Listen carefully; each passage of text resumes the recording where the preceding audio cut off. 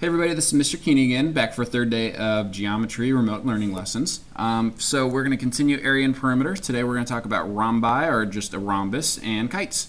Um, we did parallelograms yesterday, and a rhombus is a parallelogram. So just starting off, I gave you a picture here, and you know from yesterday, or just prior knowledge, that area is base times height.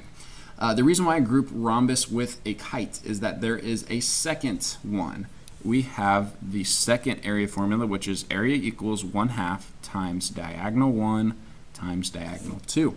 And I pair it with kites because the kite, as you can probably guess by now, has the same formula. Area equals 1 half times diagonal 1 times diagonal 2. Now, a lot of times I get a question of why. Why is that the case? And really, there is two reasons. So I got a space right here that I'm going to show you why for these two and then I'm going to do some example problems just using that new formula. Um, so why? This right here is a rhombus. All four sides are congruent, so we know it is a rhombus. And the big thing about a rhombus, and hopefully that you remember from the polygons unit, is that their diagonals are perpendicular. So with this length right here, I'm going to create a, another type of side. So bear with my sketches. And this would, this new segment right here would have a length of diagonal 2, whatever that is. It goes from endpoint to endpoint. And I'm going to do the same up top. And then for diagonal 1, I'm going to connect these. And I think some of you guys are able to see where I'm going with this now, that this has a side length of diagonal 2. I have created really a rectangle here. I know it's a rectangle because if the diagonals are perpendicular, and I constructed these in a way that they're parallel to the diagonals, all of these will be right angles here. And the area of a rectangle is base times height. But what is my base? My base is diagonal 1 or diagonal 2, and my height is the other diagonal. So really the area of this whole shape is diagonal 1 times diagonal 2. Now, if you're thinking, where does the 1 half come into play? I'm only trying to find the area of this rhombus here. So I am coloring in the parts that I would cut off from this, imagine this is like a piece of construction paper and I would cut off these flaps to get my original rhombus. And through maybe some triangle congruence proofs, we could prove that this triangle that I'm pointing out right here is congruent to this one, this one's congruent to that one, that one's that one, that one to that one. Um, so basically what I'm doing, at four that I'm keeping, four that I'm cutting off, so I'm taking out half of this big parallelogram here, which is exactly where the one half in the formula comes from. So this one right here would be for the whole big parallelogram that I drew, rectangle I drew. This one is for just my rhombus.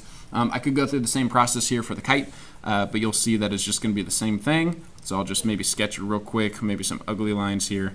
Um, and the reason why, again, this one works is that I can create congruent triangles. I can create this rectangle. And the reason why it's a rectangle, the reason why it really does work is the relationship that the diagonals are perpendicular. So it works the same way with kites as rhombuses because both of them have perpendicular diagonals.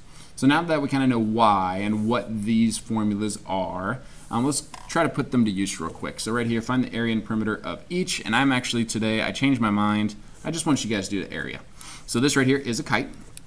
Area would equal, and I'm going to have you use 1 half times diagonal 1 times diagonal 2, um, and I'm just going to sub in values. They give me both the diagonals. They say this diagonal right here, if I look down here, says it's 7 diagonal 2.